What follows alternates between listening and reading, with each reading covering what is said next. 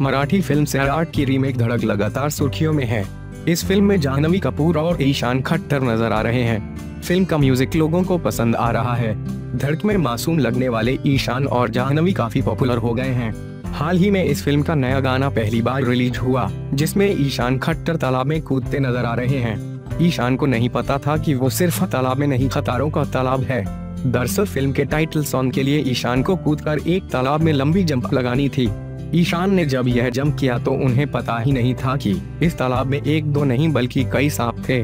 Director ने film shoot हो जाने के बाद खुलासा किया है।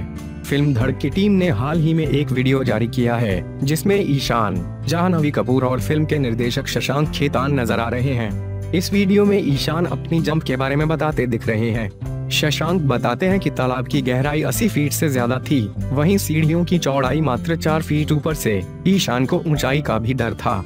इस सब के बीच ईशान को एक बात नहीं बताई गई थी कि तालाब में ढेर सारे सांपों का डेरा है।